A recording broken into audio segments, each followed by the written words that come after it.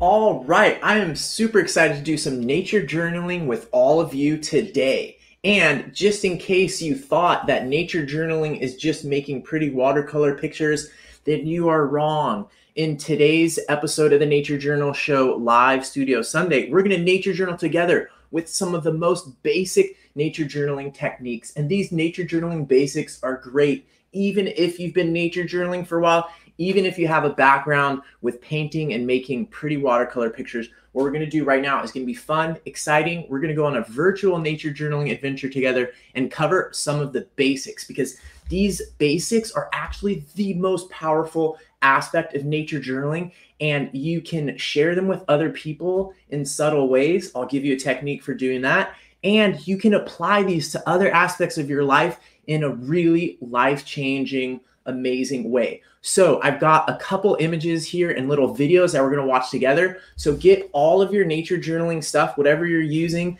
At the very least, a pen and pencil with paper is the most ba- basic thing that you would need. I'm just going to say hi to people here in the chat. I see Angie's here. Hi, Angie. Hi, Sabrina. Um, so excited that Sabrina can make it to these Sunday afternoon episodes because it's not too late in Germany. So we're going to start off by looking at some of this stuff and practicing. I notice, I wonder, it reminds me of. So let me just switch to the video here so you can see. Um, and we're going to do some nature journaling from these cool objects I saw recently. Wait, whoops, that's actually my coffee. That's not what we're supposed to be looking at. Let's start with this one here. Um, oops, let me pause that. So get your paper ready um, get your paper and your nature journaling stuff ready. Let me make my coffee disappear because um, I don't think that's what we want to be looking at. Um, here we go here. Okay, so whoops, yeah, there we go. All right, so what we're gonna do is we're gonna do I notice, I wonder, it reminds me of. Actually, maybe I'll put my um, maybe I will use my document camera. So the first is I notice, and it's really easy with I notice to forget um, what that means. But what we're going to do is we're just going to focus on observations. So some of you might already be thinking about what this thing is. And yes, some of you did see it on Instagram. So there might be some information for my Instagram um, that you already know about this thing. But when we do, I notice in our nature journals, it's not about what we know, it's about what we notice, what we observe directly. So I'm going to write that down on my paper for those of you who aren't familiar with I notice, I wonder, it reminds me of. Um, it's it's the most basic nature journaling technique. So let me switch back to my coffee camera um, over here and move my coffee out of the way and put my nature journal in here. So this is the most basic and most powerful nature journaling technique that there is and you can use drawings for it, but um, you can also just use words. So this is basically, I notice, I wonder, it reminds me of. I notice, I wonder, it reminds me. And I've chosen these videos specifically to share some fun to look at stuff, but also some stuff that's going to be really good for this exercise. So what I often do is just use colons and then make a list under these. And I don't necessarily use complete sentences. So um, for an I notice, an example would be um, something really basic about the shapes that I see. So not bringing in my outside information about this object that I'm looking at, um, and pretending like I'm an alien, even, and just seeing um, basic things. So, what I'm my first observation that I notice is that the long, skinny things are green. Um, I'm just gonna write skinny green things. And then I notice that the background is pink and purple. So background pink, purple. So all I'm doing is noticing my observation. My observation is just um, that I'm noticing this color distinction between the shapes there. So take a moment right now, if you haven't already, and let's write down um, like at least five things that we notice about what we're looking at. And I'll just play um, the video a couple times um, while you write down things that you notice. So, what I'm saying is, things that you notice are not like, I notice a blah, blah, blah species of um, something, something. So, you're not bringing in your knowledge about plants or animals or anything like that. You're just making observations about what you see or notice through your senses.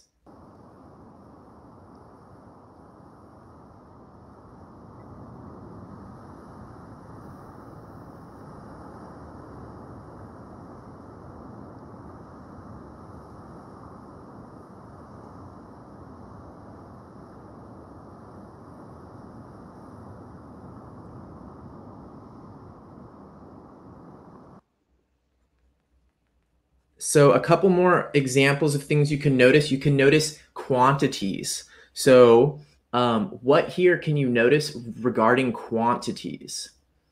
Quantities, colors, shapes, patterns, etc. Also, since this is a video, what does that mean that since it's a video, what can you notice as well? In a video, what do you what is possible to notice that is not noticeable in a still photograph?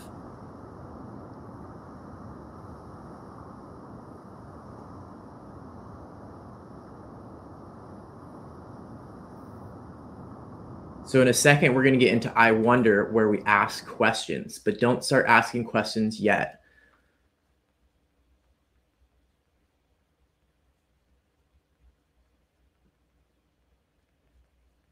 So it's okay if you're struggling with this part and you're finding, um, ooh, I might have to refill my food demon in, but I don't think I'm going to do that right now on video.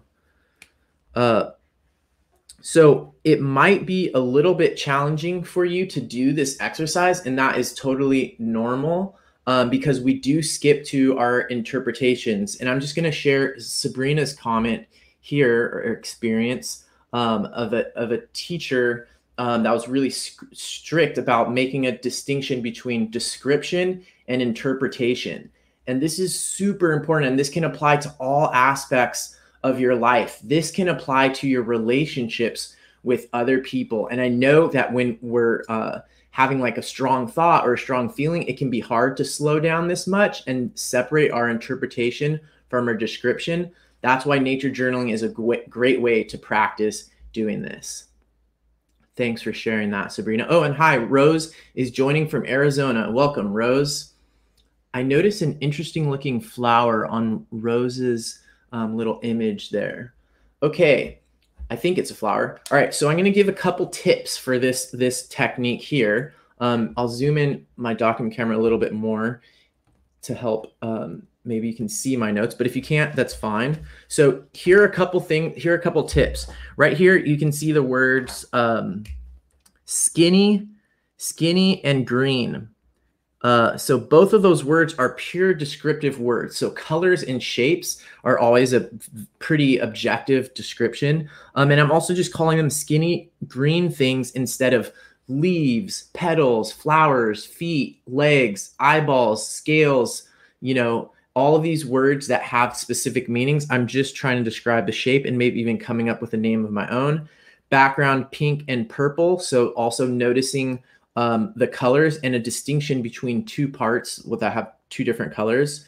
Um, movement of spines. So here's a tip right here. I put spines inside of apostrophes, I mean quotation marks. So by using quotation marks, you're keeping it um, you're you're keeping it in as simple and not putting in an interpretation. Um, little round things seems wet. This is another word trick that you can use to keep your um, descriptions from being interpretations is I don't know if this thing is wet, but my, the visual information that I'm getting makes it seem like it's wet. I could probably break that down even more and say there's an interesting reflection um, and a smoothness to some parts of it. So the trippy thing about this to think about is that we assume things are wet, for example, from some type of visual information that we're getting. And we're not even necessarily aware of what those visual observations are that lead us to know it's wet. But in some cases, those visual information, those could be um, leading us to the wrong interpretation and uh, we we might not know how to get out of it if we don't know how to break things down this way. So I know it seems sort of um, repetitive and stuff like that and slow, but this is a really important nature journaling basic.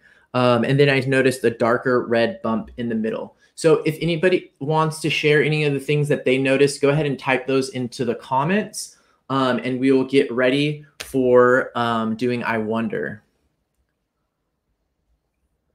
I'll play this again.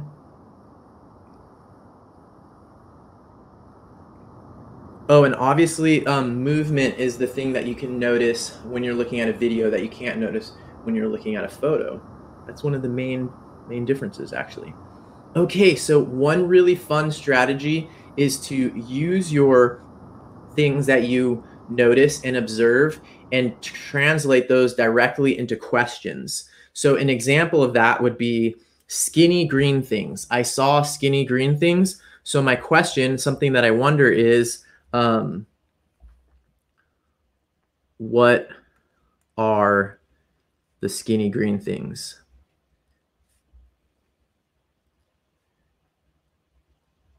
That is a really basic question, but a lot of times that first um, question leads you to better questions. Ooh, Ooh, lots of really great observations from Rose, um, Sabrina, and Cindy. Thanks for sharing those. Great observations. So let's start working on questions. My first one is What are the skinny green things? And that one came directly from one of the things that I noticed. However, I don't think this is a very good question. It, it's kind of generic and um, maybe it's not that interesting of a question. However, just writing it down can often lead to uh, more interesting questions. So, for example, what are the skinny green things? Um, and then I could ask, so going in a form function direction, I could ask, what do they do? What function do they have? And so here's a here's another pro trick. Um, instead of writing out a really long sentence, I could just write this function question mark or and then or I could write green spikes function. So practicing how to write these questions in um, a shorthand type way can be really useful, especially when you're in the field and you're actually looking at an, an, an organism like this while waves are crashing next to you. So, what I often like to do is after doing this observation and pretending like I am an alien observer during this part, um, when I get to the question asking, I start to be okay with having some assumptions. So, right now, let's all, um, ooh, that's a really cool question, Angie. Um, right now, let's all assume that this is a living thing um, either a plant or an animal, probably. It's not microscopic. I'll give you that hint since there's no scale here. This is non microscopic organism, but it is a living organism. So now let's take a couple minutes here to write down some questions that we have about this thing. So let's go ahead and write some questions on our own.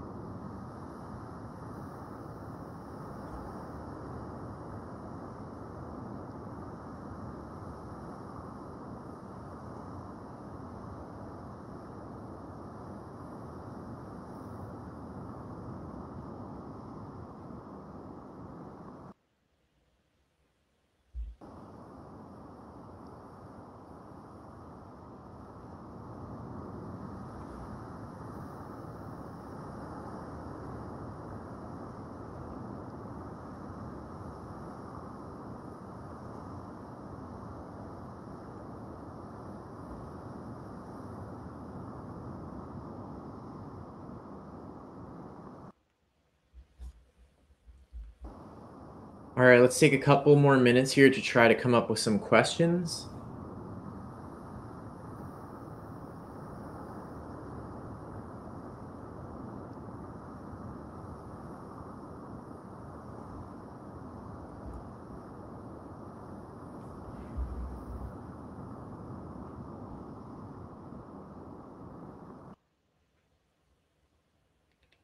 Great questions, Angie. And um, I like, yeah, great questions from Angie. Go ahead if you have um, some questions that you just wrote down, go ahead and share those in the chat. And there's a couple ways that you can do this in the field.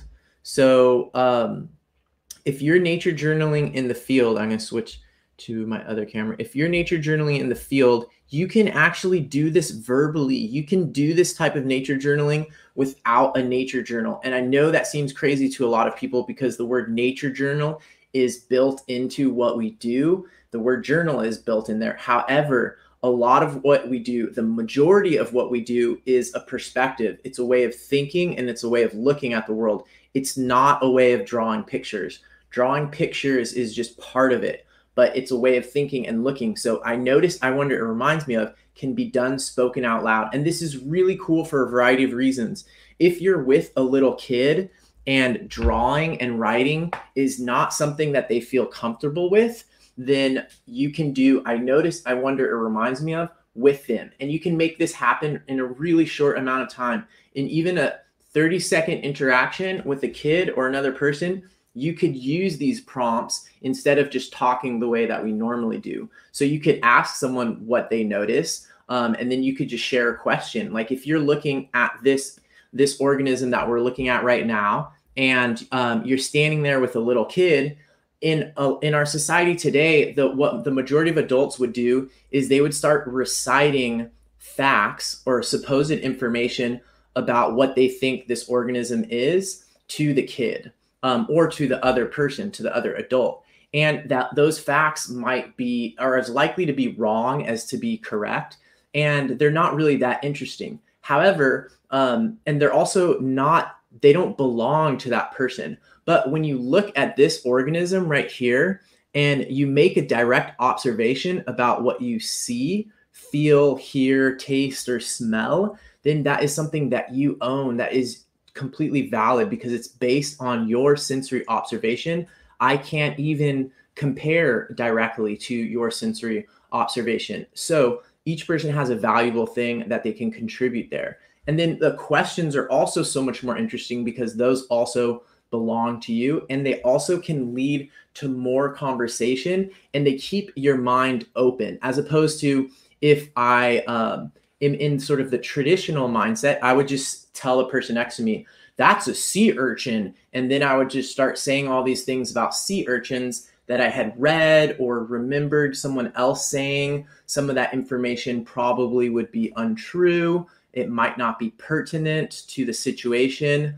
Um, and it might limit us from seeing new things. Um, and it might also make it so that everybody else that I was with um, wouldn't feel like they could make valid observations and questions themselves. So, in a sort of nature hike with an expert leading it, that is very likely to happen. Um, so, I see some great questions, really, really cool questions. Um, and um, Angie has shared some, and um, Rose sh- shared a really cool one too. Um, I like that. Um, I'm going to go through a couple of my sort of little tips and stuff here for this technique, and I'll, I'll just hold my, my journal up. So under I under I wonder, I'll, I'll read these out loud to you. Under I wonder, one of the things that I asked was based on my I notice. Um, so I said uh, skinny green things. Actually, I'm gonna switch to the other camera because I'm sure this is like really really small, and there might be a way for me to. Um, that that'll be fine. Okay, so um, skinny green things what are the skinny green things? Not the greatest question but that led to what do they do? What function? So function is an important category of questions. Um, then i skip to another one what makes the colors? So that one is based on my observations about the colors. So what makes the colors? Um, and then i also asked and this is sort of an example of an outside of the box question what is the sound? Because this video has sound also this might not be related to the sea urchin, but sometimes asking those sort of weird questions or seemingly unrelated questions, you have those popping up in your mind. And um, you might have kind of eliminated them or stopped listening to them since you became an adult. But this is why kids ask questions like that. And if you're in a group of people, someone might ask a weird question like that, and those can be super useful. So, this question might not be useful now. It might be unrelated. It might seem unfocused or distracted or silly. What is the sound? Um, however, sometimes uh, those are the questions that need to be asked. So if those come up for you while you're doing I wonder, write them down. Also, what is it made from? So that's similar to what makes the colors. That's what I would call a composition or ingredients. What are the ingredients in this thing? How does it move? Um, what how much energy does it take to move? What does it eat?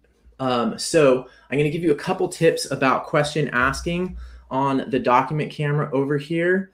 Um, because question asking is so so important um, great great questions and so here's another i'm going to highlight this one um, sabrina asked and this is what i would call in my taxonomy of questions uh, sabrina's calling that very basic question and i i call this like a, a silly question so uh, it's something that a lot of us might take for granted and that just means that if you are wrong you are very, very wrong. So every once in a while, asking sort of a question that's sort of either uh, questioning your assumptions. So if we're assuming this is an animal um, and we never question that assumption, that could be problematic. Um, and especially when you're in the ocean, because sometimes it's surprising in the ocean what are plants and what are animals. And um, so questioning these assumptions or asking these somewhat, somewhat seemingly silly questions is super useful. Um, so I did a whole video about taxonomy of questions, and I'm not going to get into that one too much right now. Um, but there's a whole nother video about this, and it's called taxonomy of questions that you can search for, and it talks about all the question types. But let's keep going with the practice because that's what I wanted to do today mostly, and that is the most fun part. So we'll just quickly go over. It reminds me of. Um, it reminds me of is really important, even though I usually make it a lot shorter but it reminds me of this is the place where you can bring in your outside information. So I know I already dropped the word sea urchin, but now would be a time if you have any um, information that you've read or seen other places or learned about um, through reading or watching videos. This is where you can bring it into that it reminds me of, and you can also um, bring in really funny things. So this is really good for your brain because it connects um, to more parts of your brain. Anytime something is connected to more parts of your brain, it makes it harder for you to forget.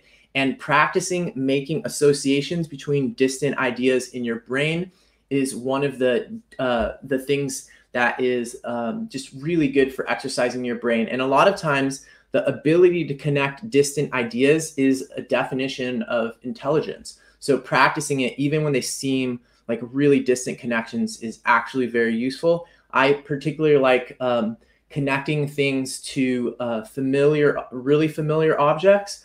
Um, so, like what Angie did, that it reminds of a hairbrush. And then another one is um, connecting to food items. So, let's take a moment and write down the things um, it reminds you of. And I'm kind of getting distracted because I'm looking at all the good ones in the chat um, before I actually write any of my own. But I'm going to take a a second to just write down some of my own.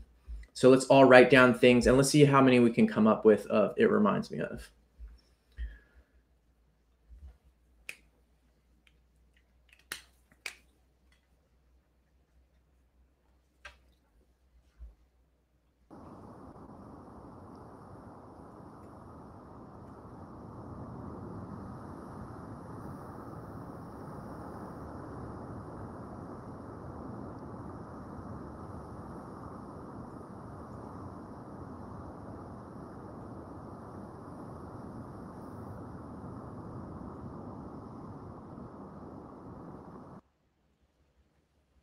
So one other thing I'm going to point out before I, um, uh, but briefly, so that I don't go into like a whole long thing about this because it's actually really interesting, is the it reminds me of is also an opportunity to um, under, try to understand principles in nature. So, for example, if it reminds you of chicken feathers, as someone pin, uh, mentioned, or pine needles, um, or a holiday tree, um, though if, if those are other things in nature that have a similar pattern in some way, you might ask questions. Why are they similar? Is there a reason why they might be similar? Is there a possibility that they are performing a similar function? Is there a possibility that they are somehow genetically closely related? So they have a lineage together that might cause them to have a similar shape. So this organism actually does have some of those similarities. Um, and so that can be a really interesting way to learn about nature. And then another uh, really, really important one is if you um, is to think about human-made objects and how this could be similar. So if it reminds you of a hairbrush, um, or it reminds you of some other type of thing, this is the, the place where biomimicry can come into human design. And I think it's really important that everybody who's making things, um, making hum- human made objects, whether it's, you know, cups or pencils um, or robots or artificial intelligence or farm farmland or whatever. Anybody who's designing those kinds of things if they're looking at patterns in nature and learning from the things that nature is doing and trying to apply them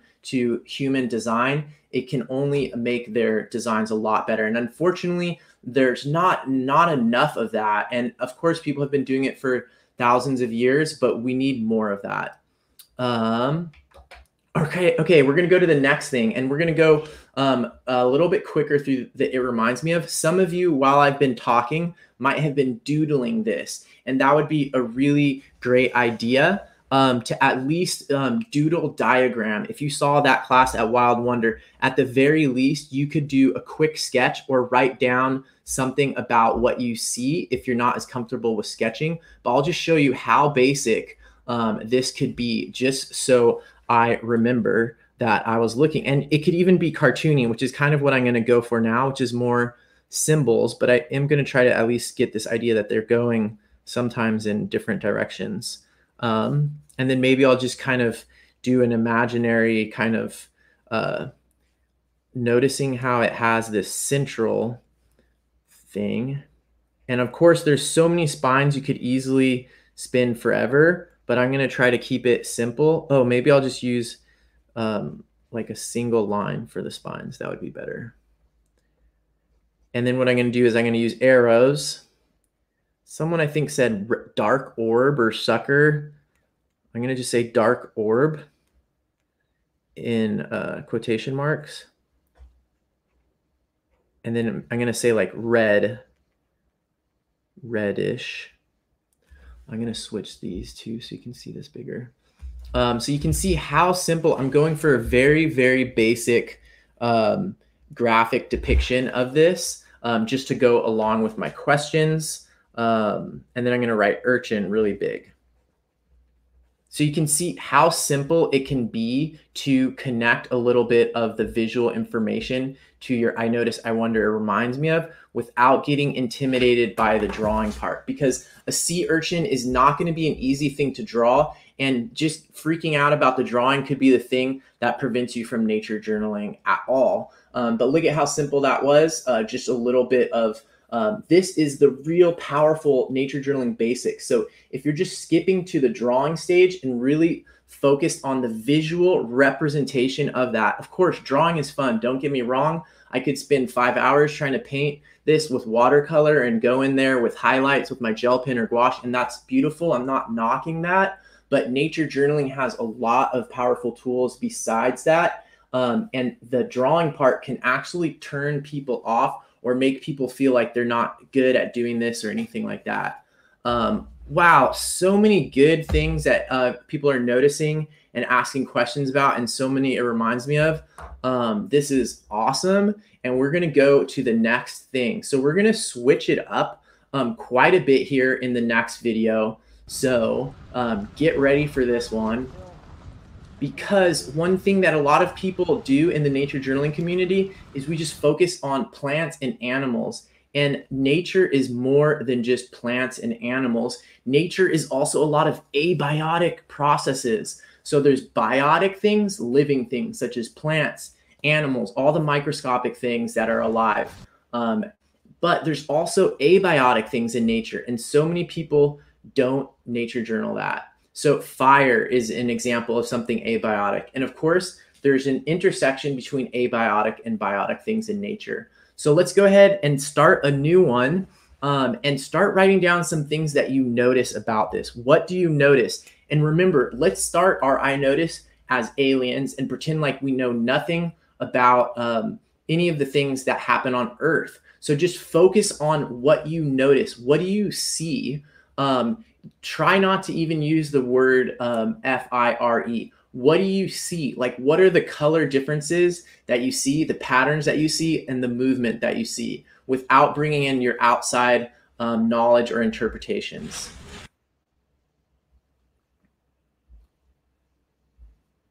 The video seems to be pausing a little bit. Oh, there we go.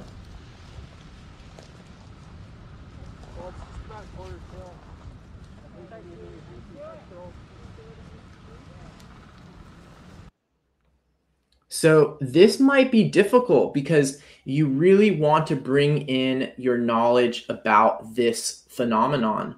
Um, but let's pretend like we did just come from an alien planet and we don't know anything about uh, processes on Earth, and we don't know about this um, this red uh, orange uh, moving thing. There's a, a red orange moving thing um, that we're looking at and uh, we don't know anything about it yet. So, what as aliens can we notice? What do we observe? Go ahead and write a few things down, and they can be really simple. One thing might be I noticed these uh, lines going up and down. These some of them are darker and some of them are lighter.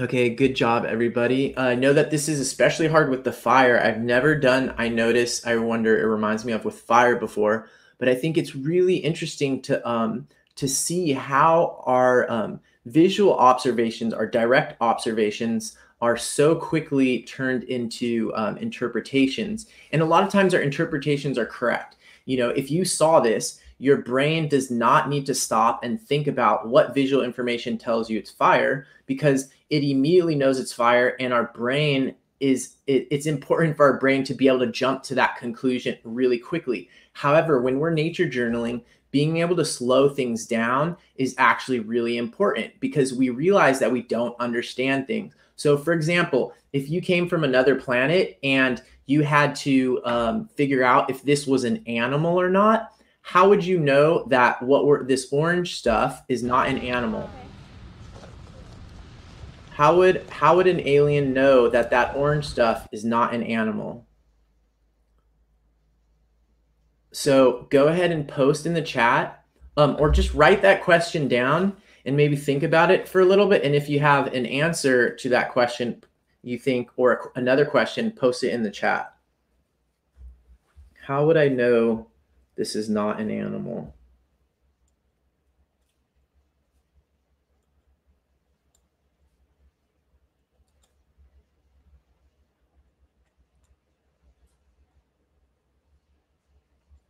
So that is probably, you know, that would fit under I wonder. And I would consider that sort of a philosophical question or a silly question going back. It's it's sort of an, a question of an assumption, sort of like Sabrina asking if that sea urchin was an animal, right? So, um, what what information do I have that tells me this is not an animal? If that question comes up in your I wonder, that would be a really thought provoking question. Um, I'm also noticing, you know, and and that can be jumping around. So it's it's very common when we do I notice, I wonder, it remi- reminds me of in our nature journals to jump around from one to the other. So, for example, Cindy um, had this, which is basically um, going quickly from an I notice to an it reminds me of. So, it reminds Cindy of a footprint, which is really cool. Um, it reminds me of. But this is also just an example of how we can jump around when we're doing I notice, I wonder, it reminds me of and um, that is something that uh, she was reminded of. And if, if when i'm looking at it now i see it looks like there's multiple footprints. So that's an it reminds me of combined with an i notice. Um, angie's also pointing out this sort of uh, sensory bias that we have as nature journalers especially when we're doing video. Because right now all you can do is visually perceive and auditorily perceive. Um, you cannot experience the smell, the uh, touch, um, or the taste of, of this situation.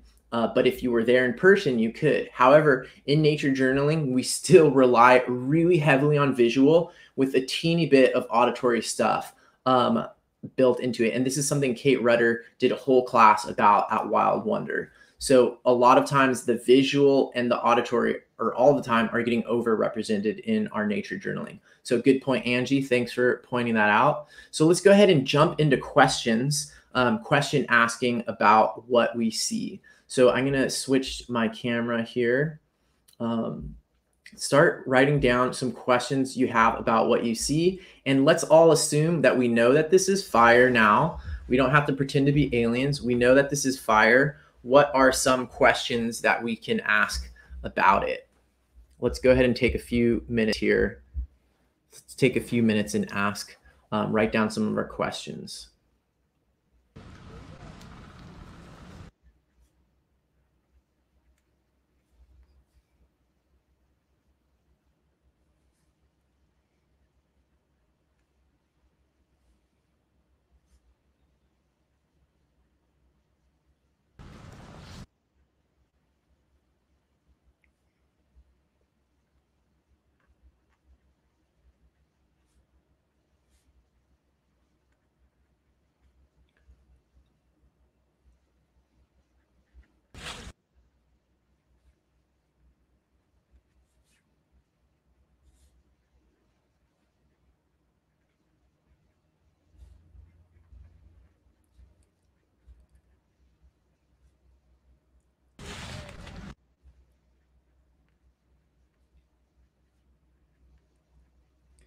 So I encourage you if you've gotten to a place um, where you you aren't coming up with any more questions, ask some silly questions.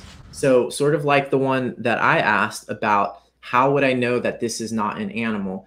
Try asking some other questions such as why is it black in the middle?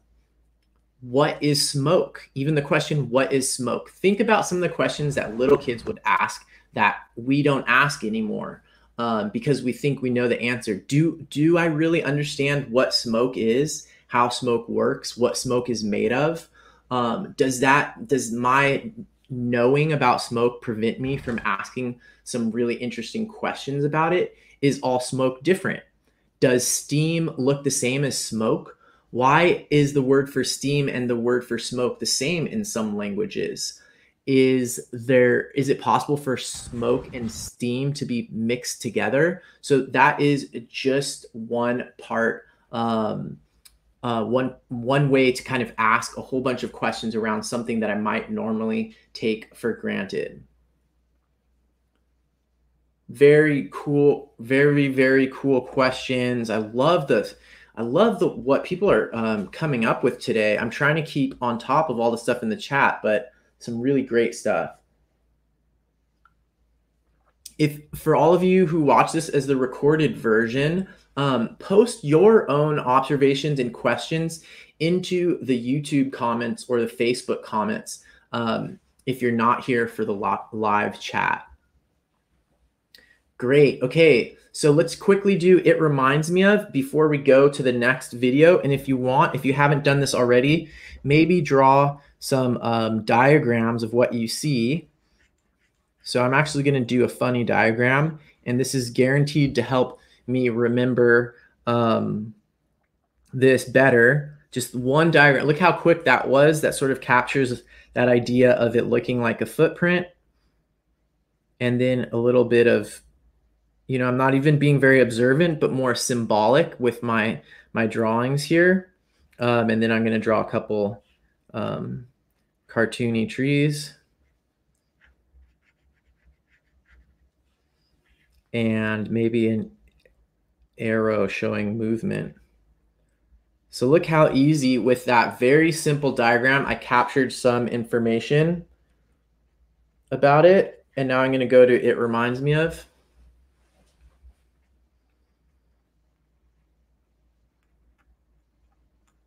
Well, it actually reminds me of a video that I did on the Nature Journal show a couple weeks ago about nature journaling prescribed fire that uh, you could watch, where I'm nature journaling at this prescribed fire that you see here.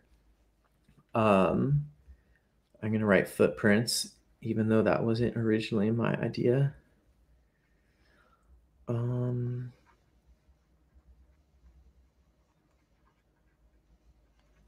I'll play it again so you can get some of the sound in there. Yeah.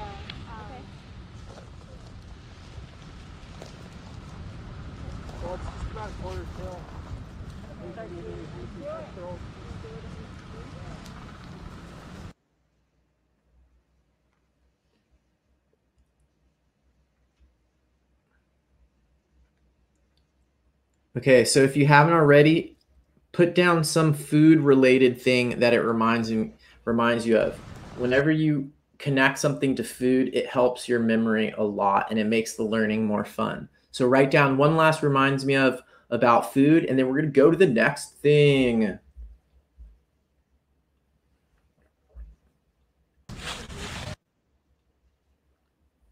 All right, hurry up and write one food item that it reminds you of. The sillier, the better. Did you know that the Greeks and Romans were masters of memory and they would memorize like hour long speeches, um, meticulously memorized? And one of the strategies they used um, was to associate things with absurd things. So if you needed to remember a specific phrase or a specific reference or whatever, a specific name, to associate that with something absurd um, sometimes sexual or just absurd and weird or food related, then it would be easier to remember. So, um, good job, everybody, doing that and practicing your brain that way. Okay, now we're going to go to another one. Whoa.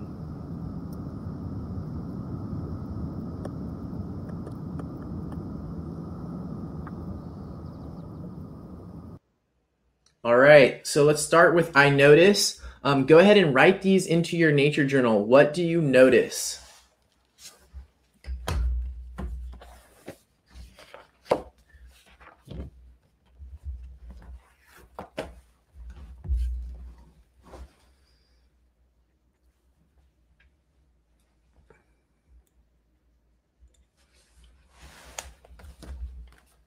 I'm to pretend like I'm nature journaling outside at the ocean. Ooh, I shouldn't have said that.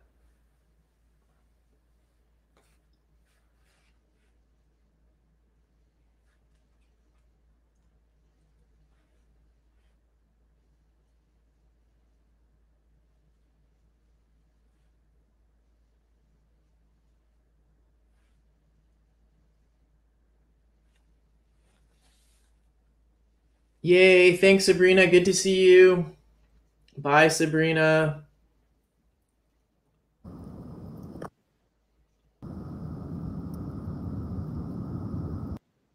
I'm going to leave it here for a second so you can ask some more, uh, put down some more things that you notice. Remember, the things that you notice are really basic observations, and we're pretending like we're aliens. So, what are the colors that you see? You don't know anything uh, or have any idea of what this might be. Um, it could be it could be a mineral, it could be a crystal, um, it could be um, non-living, it could be living, um, it could be a lot of different things. You don't know anything about it. It could be really big, it could be really small. So, what do you just see visually? um, or hear. In this case, we don't have the sound, but what are the things that you see? Relationships between colors, different shapes, different patterns.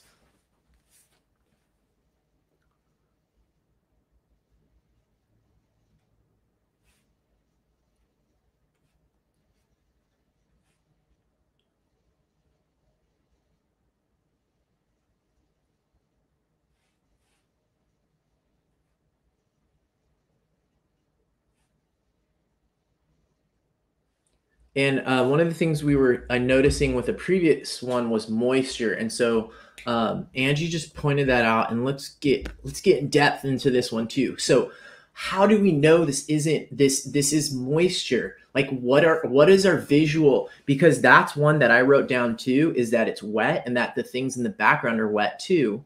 Um, but how do we know? Like, what is the visual information? Because we're not touching it, right?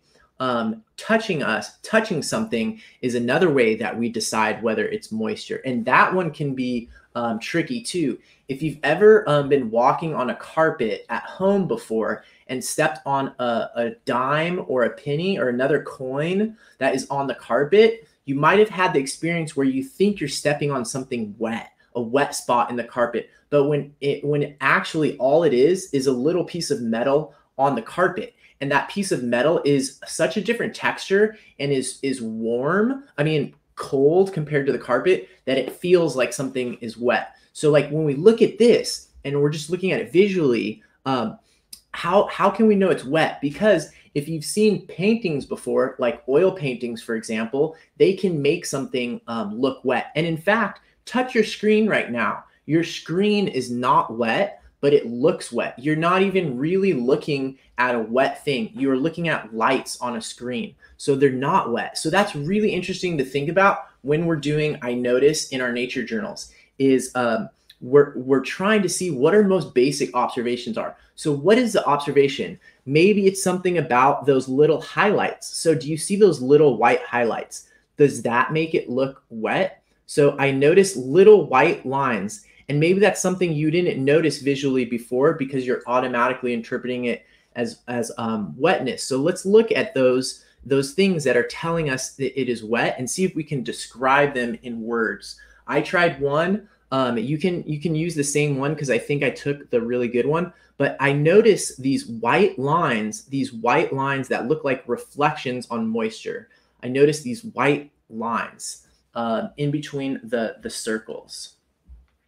Cindy, yeah, the gleam, exactly. The gleam. So that's a really, yeah, the gleam seems to be a huge way that our brain interprets something as moisture. And that can be simulated. Um, there's like those fake food things that they do that they make something look like it has a gleam to it. Um, the the computer screen is obviously doing it with light um, focus on getting that light right. So um, as an artist, that's also really important to be able to to figure that out. And and I'm sure all of you are looking at the highlights on this um, this or, this uh, orange purple background in a totally different way now. Um, so thanks for bearing with me as I, I really pushed us to kind of question what moisture looks like. Now let's skip into um, so great observations. Um, Great observations, everybody. Let's skip to I wonder. What are some questions? And we'll just jump in now and and uh, assume that this is uh, probably a living thing. It could be a mineral. Sometimes mineral self-organizes into to patterns. Uh, non-living things can have a lot of pattern to them, but I think we're going to assume this is living and ask some questions about it. So go ahead and write down some questions.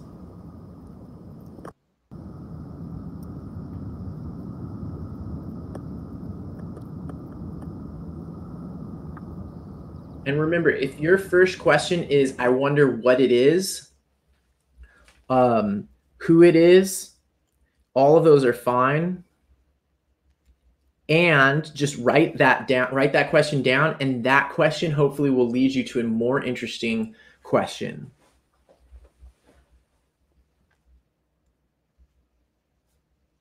And I'll switch to my uh, other camera. So, ooh, wow, I'm already seeing some great questions.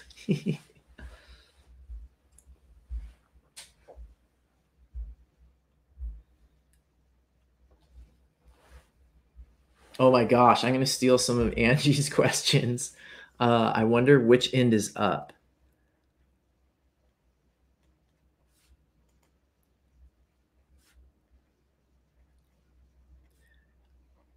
Okay, and then what I'm going to do is I'm going to question the question. So this is always a good strategy. What does that even mean?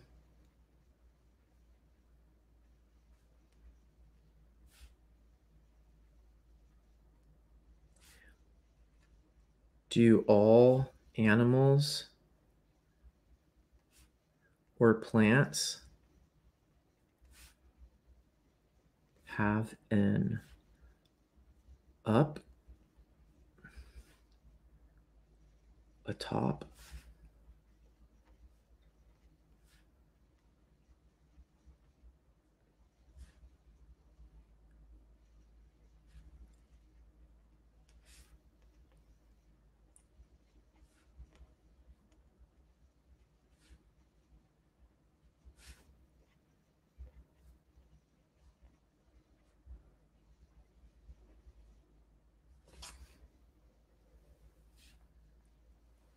So here's another um, pro tip. Oh my gosh, Angie, you're killing me. Uh, another pro tip here. Oops. Um, pro tip here is these three words here. If at all. So if I ask a question like, um, uh, does it does it swim? Or no no actually that's not the right question. The question would be something like how how does it move? There is an assumption built into this question um, the assumption built into this question is that it does move.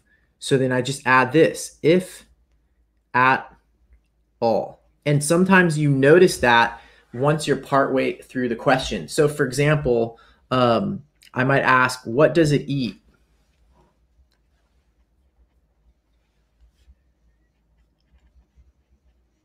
How often does it eat?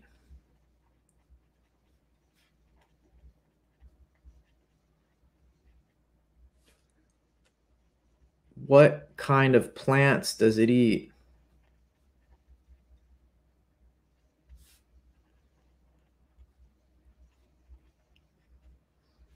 Each one of those questions has assumptions um, built into it that we can sometimes just write if at all, if any, as a way to uh, recognize that we have an assumption um, built into there. Another one um, that is a really common question with with things like this are why questions, and we can't always answer why questions. Um, so, for example, um, we might ask the question, uh, why does it have, uh, why are there round dots? So Rose just asked this question. Great question. And this is probably um, one of the first questions that will come uh, to your to to our minds, almost on the same level as what is it, um, or you know what kind of animal is it. So great question, and those questions often lead us to other questions. So um, let's take a minute right now to build off of Rose's question. Um, and, and some of our questions might already build off of it, but let's ask some questions, other questions related to um, Rose's question. Whether that is, uh, we could question uh, any assumptions that are built into the question. We could also use that question to guide us to other more specific questions or other related questions. So let's see um, what questions we can come up with related to that one.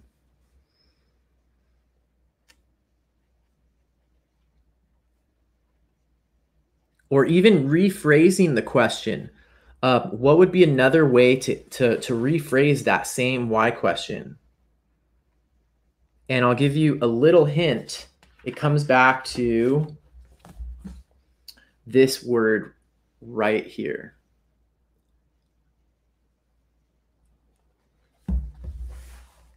Because that's why are there or um, what do those do? Those are often these function related questions.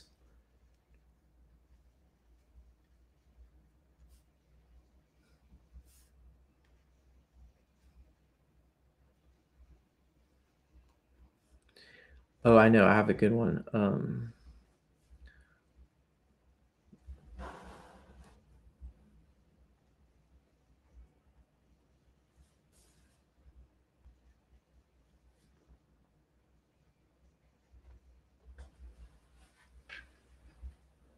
um,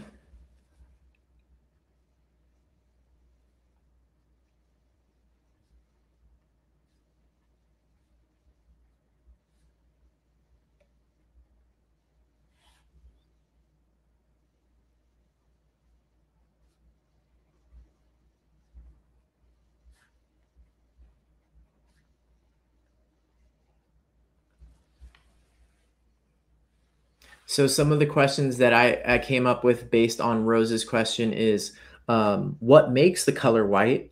Do they see the color white? So does this animal, if this is an animal, see the color white? What chemicals make white? Um, I could think of so many more questions related to that white now. Um, so I'm really glad. Um, oh, Cindy asked a great one, and that's something I was totally taking for granted. So questioning an assumption oh yeah, I love that. Um, are they just attaching to it? What if these were a totally different organism or like a mold or a parasite attached to the underneath thing and we just assumed they were part of the same thing? Great question, Cindy. Oh, Angie has to go. All right, Angie, thanks for joining in. See you later. Bye. Um, Great question, Cindy. Oh, I love that. Okay, let's go to it reminds me of on this one. And we're gonna I'm gonna try to talk less for the next few and just let us nature journal them because I still have a couple more videos. Um, and uh, so let's go into it reminds me of on this one.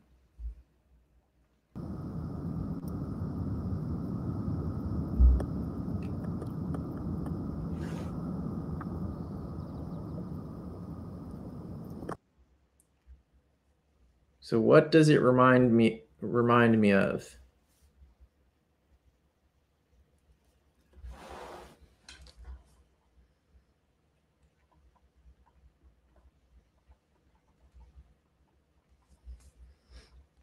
And you can say it reminds you of a sea star or a starfish or uh, whatever you think that it is.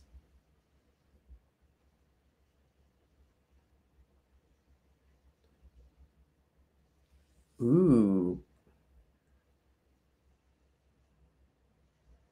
Moss spores. Hi, Valerie. That is a great one.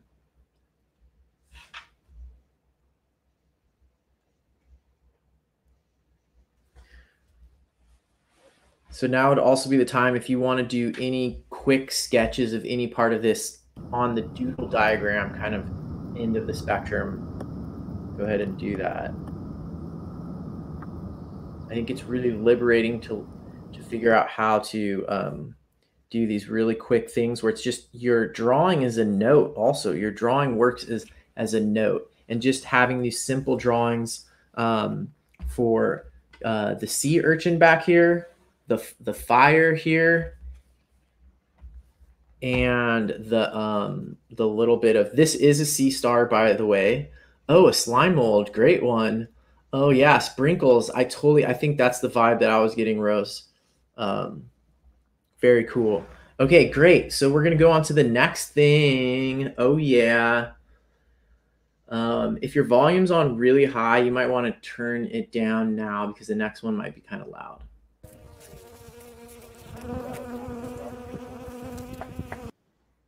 Oh, hi, Gene. Gene just got here. So we're doing, I notice, I wonder, it reminds me of looking at these different videos. So um, get your paper ready. And what I'm doing is just these columns, but you can do, I notice, I wonder, it reminds me of however you like.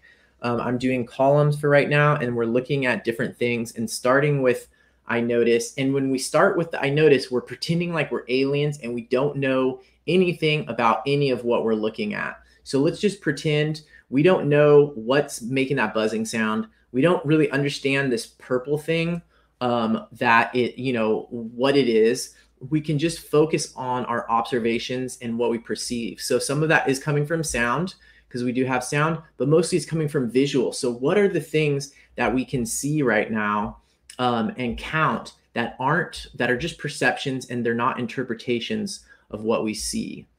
So I'll go first, and I notice a lot of these little sort of uh, whitish pale things that are sort of longer than they are wide, and they're all kind of pointing um, in slightly different directions. Some are sort of pointing in the same direction. So go ahead and write down things that you notice um, about this. And I'll play the video again so that you'll be able to notice video type thing.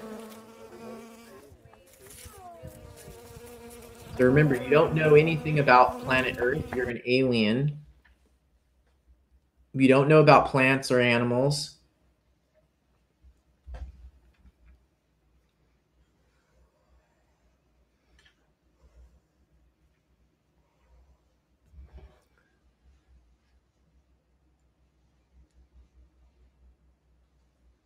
It could be really simple. I notice movement. I notice different colors.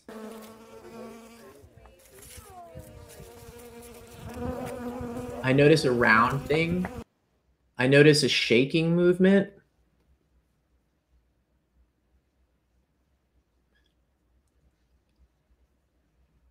Round thing in the middle.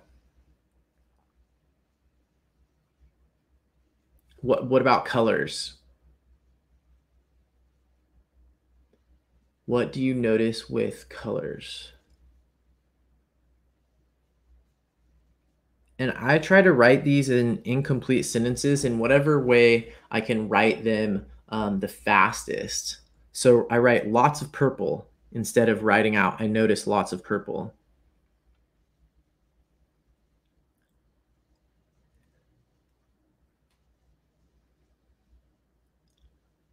it's mostly darker in the middle, but then there's these light light things of different shape.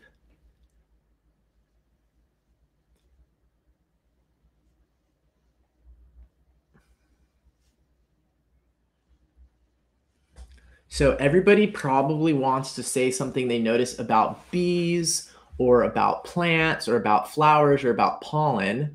Um, and what I want to point out is that those are great and those are our brain jumping to conclusions because first our brain needs to bring in visual or other types of sensory information and then convert those into ideas. And so we often are correct when we jump to conclusions. But what if I said, for example, um, those, um, I noticed bees pollinating the flower.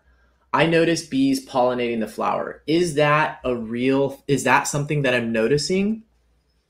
Actually, that is a complex interpretation based on a bunch of different visual information. So if I said, I noticed the bees are pollinating the flower, that would not be a direct observation.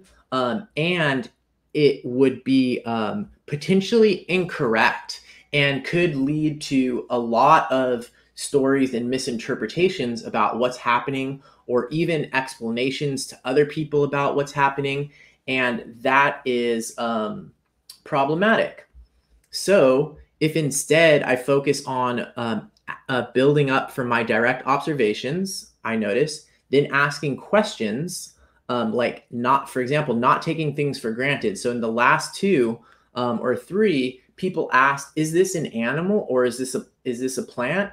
um, as if we didn't assume those things. So right now, the thing I want us to practice questioning the assumption of is uh, bees and pollination, because this is something, if you look into it more, it's actually way more complicated than people think. So yes, there are um, these little separate looking organisms entering into this flower. And yes, flowers are a reproductive part. Those are all, that's all outside information we're bringing in. That's different from I notice. Um, however, just because uh, an, an insect is inside of a flower doesn't mean it's pollinating it. So I'll let you all think about that a little more. If you want to do research on the side about that, um, I highly recommend it. But for right now, we're going to just write down a couple more things that we notice and then go on to the next stage. If you have any things that you notice, um, post them in the comments. What do you notice? Um, and remember, you don't know about bees, you don't know about plants, you don't know any of that. What are some uh, visual things you notice? For example, have you counted anything? I'm going to do some counting. Okay, that's something that I I notice. I don't recommend trying to count all those other sort of skinny white things. That might take forever. But what are some other things in here that you could count?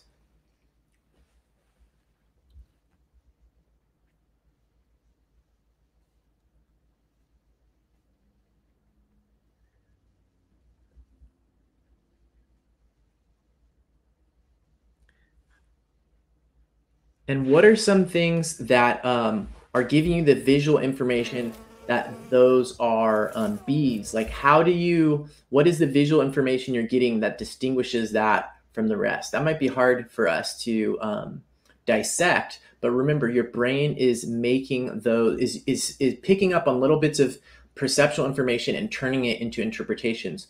Also important to remember, there are many organisms in nature that look like bees or look like flowers that are not that are fakes. And if your um, if your i notice um, is unconscious um, and you don't realize what your brain is u- using to build an interpretation of something being a bee you could easily be fooled. So for example many people in their brains just have the idea that a bee is a certain color it has wings and it has darker stripes on it and then there's a whole bunch of other insects that just copy those things, but they don't copy all of the other details of the bee. And um, people see them um, and automatically assume that it's a bee. And you could be nature journaling about these things and writing down it's a bee when in fact it's a fake bee. It's one of these other insects that pretends to be a bee. So this is showing you why I noticed, I wonder, it reminds me of is super powerful.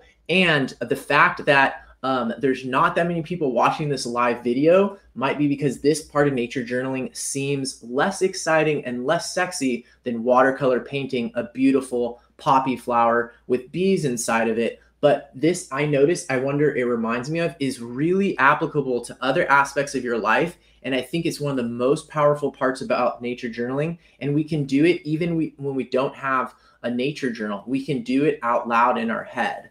Um, and spoken to other people. So I like doing it with kids even before they're ready to read or write. We could ask them um, instead of me saying, Look, kids, those bees are pollinating that flower. And all the kids just look up at me and assume that I'm speaking the truth. Instead, I could say, What do you see? What do you notice? Um, what, what, what are some of the colors that you see? What are some of the shapes that you see? And then we could ask questions together. Like the kid might ask, What are the bees doing? Instead of assuming that I know, I might be at a, I might even answer, I don't know.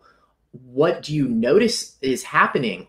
Are they moving? You can just sort of, instead of just providing uh, an easy answer that might be uh, untrue, you can kind of go with things a little bit more. So now we're going to go into the I wonder section. So this is probably the the um, one of the most fun part. Ooh, yeah. So Rose um, counted a similar thing to me. Um, Valerie did a great job of uh, estimating the the little white things. Um, really cool. And then Valerie is is is saying that it seems like the um, insects are looking for things, and I love the word seem um, in that instance, and using that word um, or using um, parentheses or quotation marks around things can be a really good way of making a distinction between our observations um, and our interpretation. So um, good job there. So I'm going to play the video again and let's write down our questions.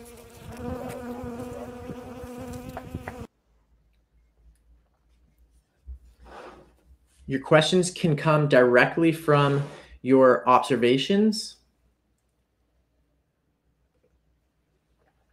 or they can come from other places also.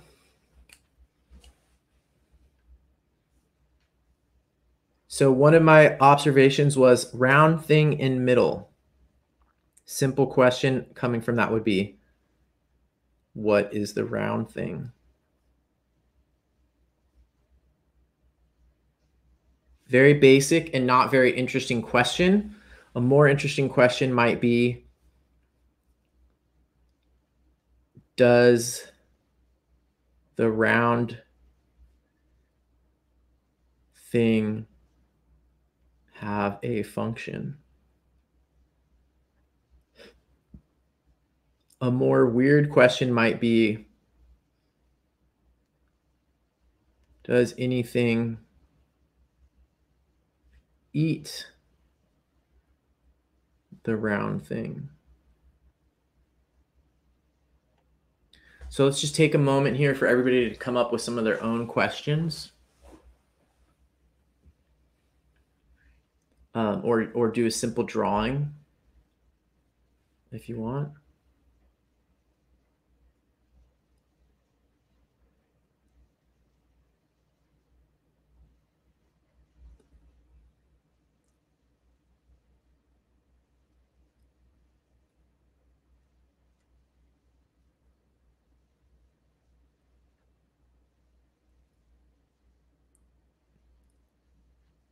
I'm going to ask a meta question, so like a perspective question.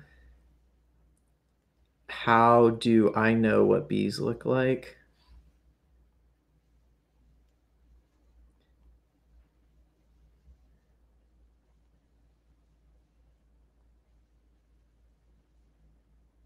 If you haven't already, I highly recommend um, I highly recommend you watch my video called a taxonomy of questions where I talk about all different types of questions and how to come up with them.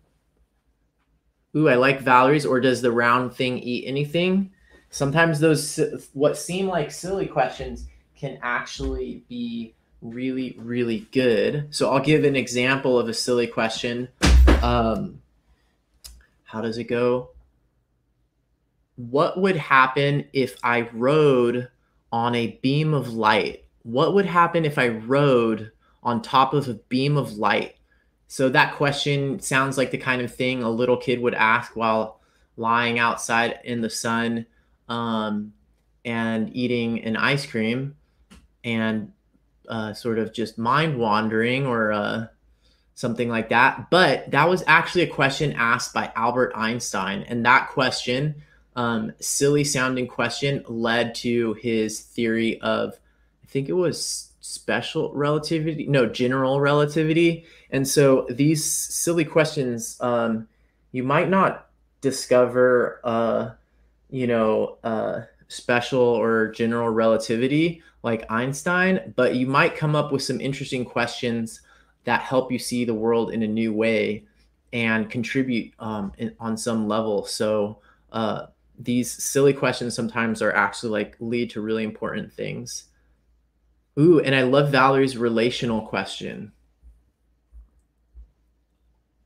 This is a relationship question. I talk about that as a whole category of questions in that uh, taxonomy of questions video.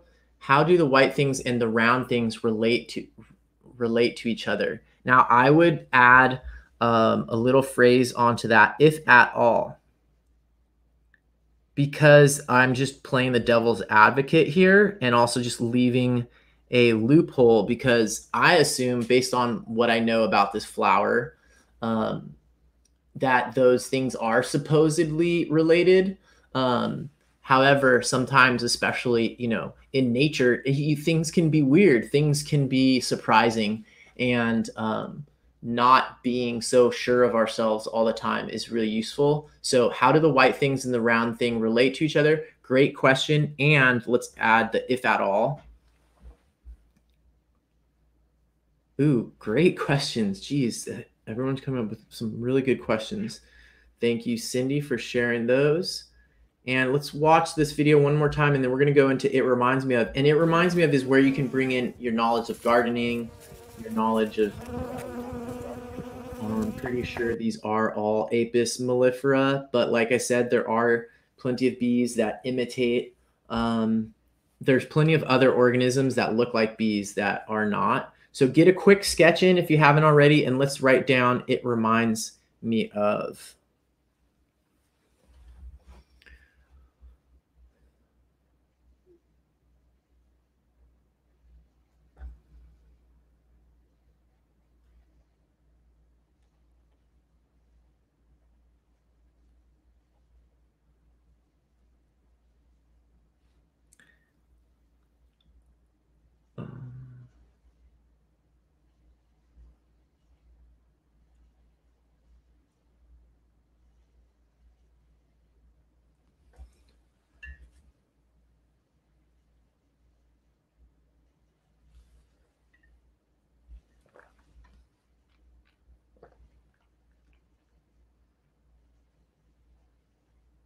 Okay, write down at least one weird thing it reminds you of. Ooh, Valerie already beat me to it. Fireworks.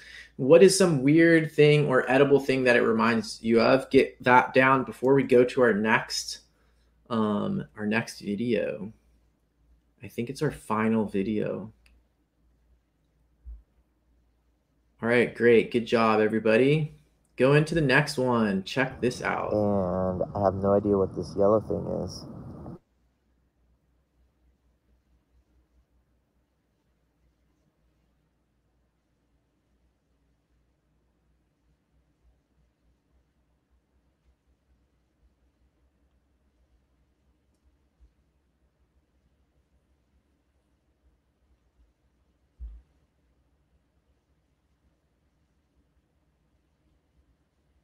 Right, sorry it's moving a lot, but let's go ahead and jump into I notice. And it might be easier for you to pretend like you're an alien on this one because what you're looking at is so alien.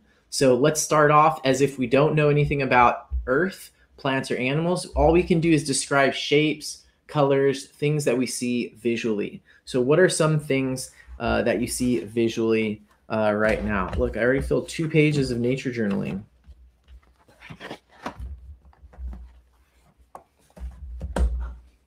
Things that you notice could include colors, shapes, textures, numbers of things, background, foreground.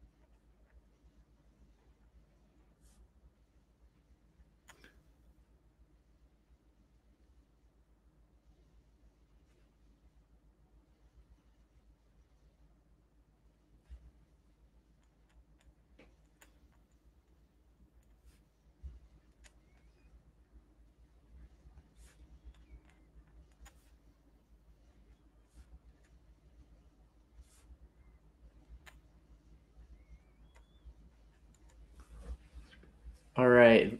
Valerie and Cindy um, both shared a bunch of cool things that they noticed. Um, multicolored spheres, blackish brown squiggly looking things. Uh, great observations there. It also has a shininess that we saw in other in other videos and interpreted as wetness, so maybe it's related to that. So let's go ahead and jump into the questions, which a lot of times feels like the most fun part of I Notice, I Wonder, it reminds me of. So, um, what are some questions? Start writing down some questions. I'll play the video again. Sorry, it's shaky.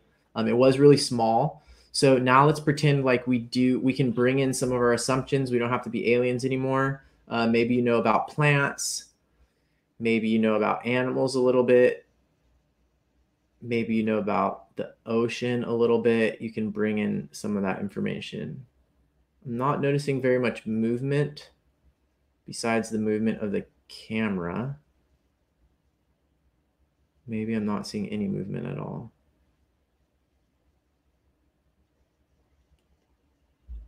There is something else in this one. Um, see if you can ask. I'm going to pause it here temporarily. I know not everything's in focus, but let's ask some questions. Um,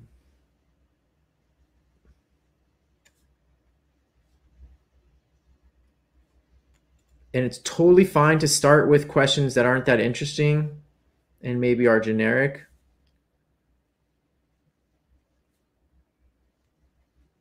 Those can lead to more interesting questions. They always lead to more interesting questions if you write them down.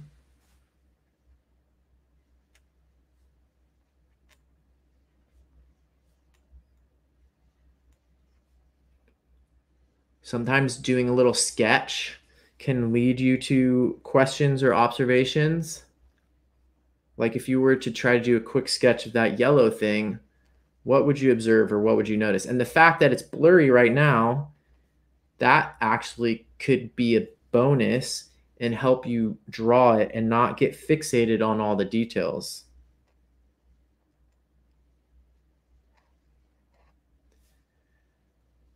a lot of times the powerful thing about drawing uh, as a part of nature journaling it's not about it's not necessarily about making a page that looks pretty but it can be about how much more we notice when we draw something so one strategy is while you're doing i notice i wonder it reminds me of um, while you're doing the i notice uh, be drawing it and go back and forth between the drawing and the things that you notice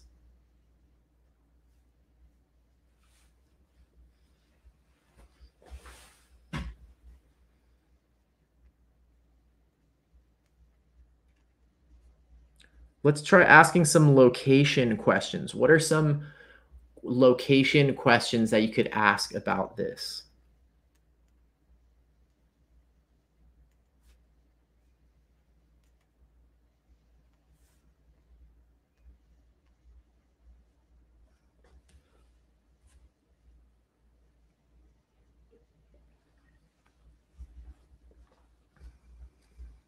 What are some relationship questions?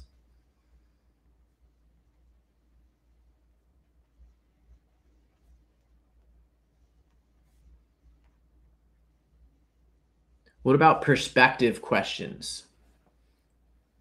Is there a question about how you perceive this versus how another organism might perceive this? Or how would this look to um, someone who, how would this, how would this seem? How would this feel and be to someone who didn't have a sense of sight? What would this be like for someone who did not have the sense of sight? Or what's another perspective question? How would someone from another country see this? How would this look in person versus on video? What can't I notice because of it being on video? Those are all perspective questions. So try to ask a perspective question. They're often deeper, a little bit harder to come up with. Um, I probably also used up a bunch of them. If you can't come up with a perspective question, just write down perspective question.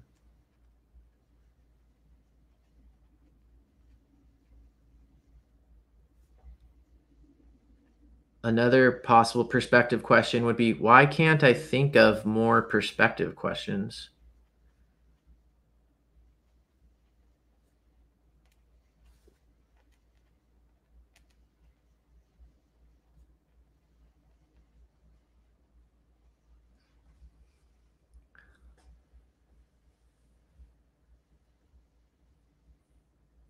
Great questions. And this, I was trying to figure out what was going on in this video.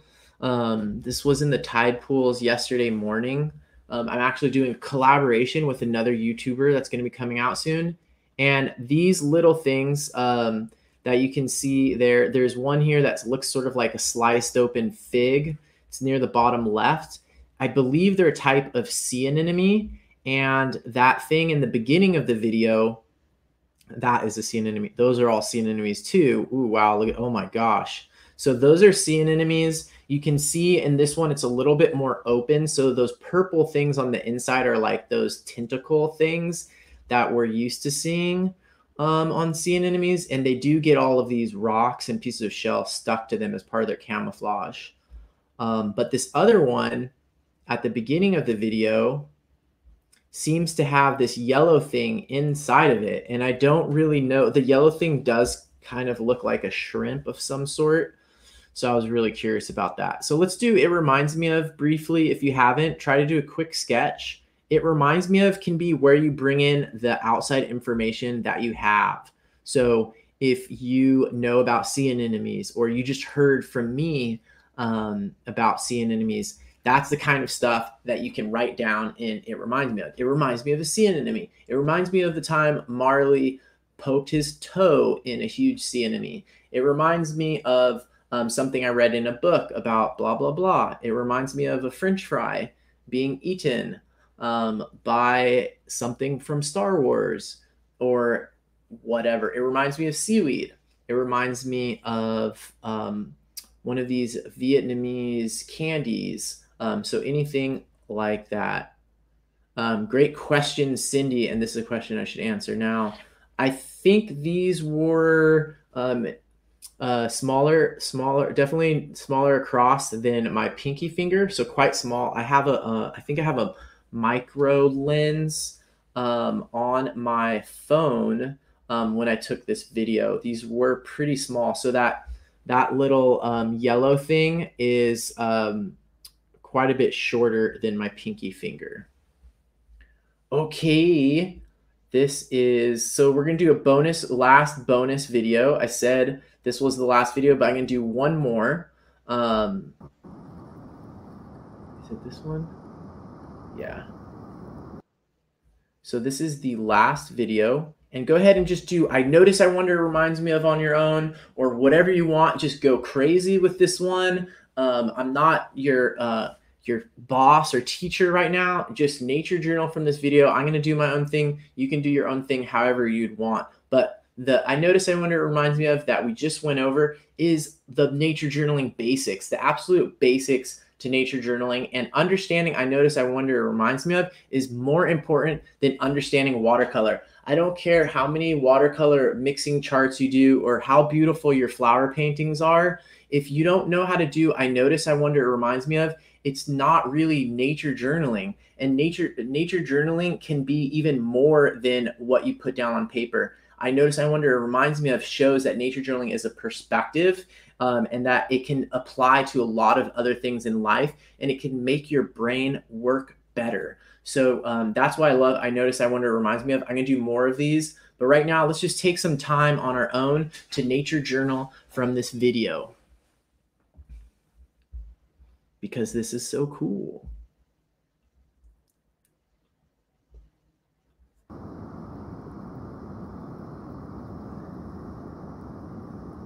Are you blowing bubbles at me? That's not polite dinner table behavior.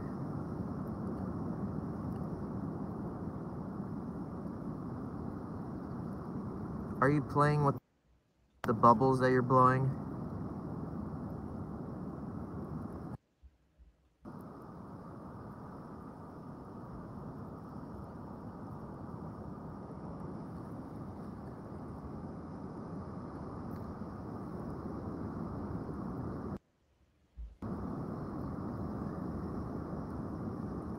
You blowing bubbles at me?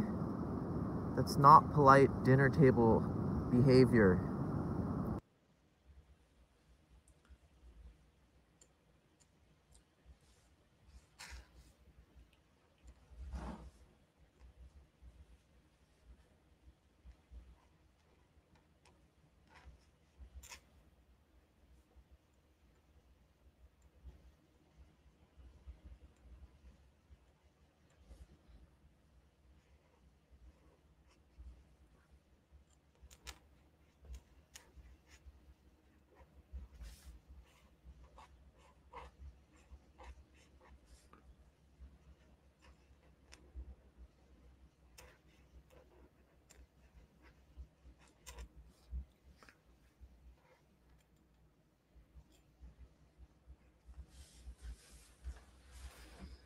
So I'm just doing a really cartoony version of this um, this creature, and uh, I zoomed in, or I sort of have this box here pointing to part that I'm interested in, and I wrote blowing bubbles. So this is all I notice. It's a drawing showing what the thing looks like, and it's a little bit of information. So blowing bubbles, um, and then I could add a question right here.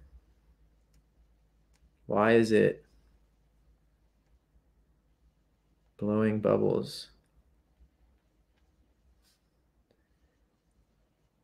Is there a reason?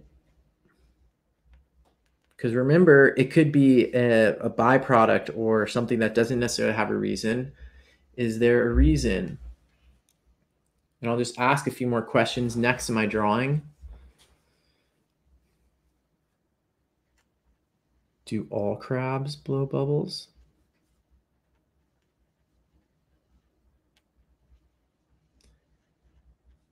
Do they blow bubbles underwater. And then I'll just connect and I'll do a zoom in and then connect it to and it reminds me of.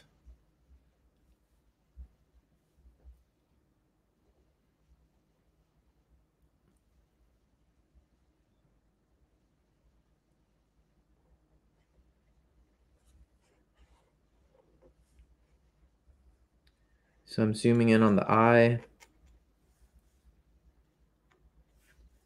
And it reminds me of a goat eye. So look at that. I got all pretty much all of the, what I do need to do would be to do to add a little bit of numbers here. So like if I said, how many legs does it have? I think it has one, two, three, four, four legs on this side four legs, one pincher, and four legs, one pincher. So that is nature journaling. How easy was that? It took me um, less than five minutes to nature journal that. And um, I have, I noticed I wonder, it reminds me of. I have a zoomed in part of the drawing, a really simple, cartoonish almost um, drawing here. But this is basically how easy nature journaling can be. And I'm covering the basics. If I had just spent 30 minutes trying to paint a perfect um, or do a perfect kind of colored pencil drawing of this photo, that can be beautiful. That could be absolutely beautiful art but it's not nature journaling. Just painting a realistic depiction of this shiny crab in the seaweed is art, but it's not nature journaling. So asking questions, uh, making a distinction between what you observe and what your interpretations are, um, asking questions, using words, numbers, and images. All of this makes it into nature journaling. And to, in my opinion, these are more powerful um, much more powerful than just being able to do an amazing painting of that crab over there. That's cool if you can do that, but you can also take a photo of it. But can you do this? And how does this affect your brain? That is what I'm interested in. So thanks for everybody who joined in and participated. Cindy and Valerie, most recently, have been participating awesomely in the chat. Thank you so much um, for joining in for today's session. Rose was here earlier. Jean was here. Um, who else was here? Angie was here.